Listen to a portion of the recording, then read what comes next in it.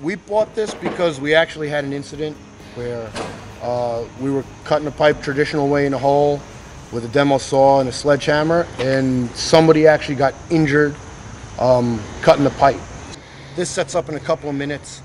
Um, you don't have the noxious fumes from a gas engine running in the hall. It's lightweight, it's fast and efficient, The Wachs diamond wire saw, much safer way to operate. much safer, much safer. I would recommend it definitely.